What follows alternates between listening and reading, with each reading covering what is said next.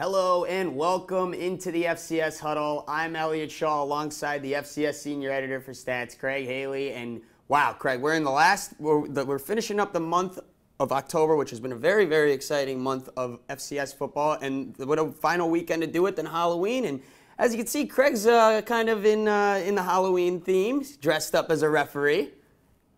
What do you mean I'm dressed up for Halloween? All right, my bad. Side Judge Craig is here to, to report with us. Whoa. That's referee Craig to you. All right, you know what, Craig? Since you're dressed like an official, why don't you talk about some of these games? Sure. Thank you, Elliot. well, it's a great weekend for, for FCS football. I mean, there's there's so many uh, first uh, place teams playing each other, undefeated teams. I, I, think the best one being in the Ivy League, uh, Dartmouth going to Harvard on Friday night. A little mischief night for, for that yeah. one in the Ivy League. Uh, that's clearly uh, one of the better ones. Uh, Harvard's a two-time defending champ, trying to get three in a row. That hasn't happened in the Ivy League since 1990 uh, to 92 with Dartmouth.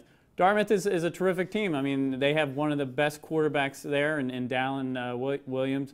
Harvard has a great one too, Scott Hosch. It's a great year for quarterbacks in the league we'll, we'll see where it goes. But there's plenty of good matchups, not just there. I mean, in the Big South, it's uh, number two Coastal Carolina going to Charleston Southern, who's actually actually out in front. Uh, number one Jacksonville uh, State hosting Eastern Kentucky in, in the OVC.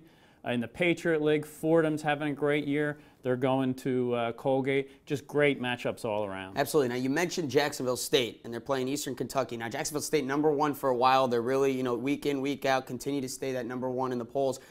Could they be on upset alert this week? What do you think? I, think so. Last year's matchup was was 20 to six uh, at Eastern Kentucky. Uh, uh, Jacksonville State won kind of a defensive matchup that uh, last year. This year, it, it, could be a little more offensive. Uh, both teams are doing well.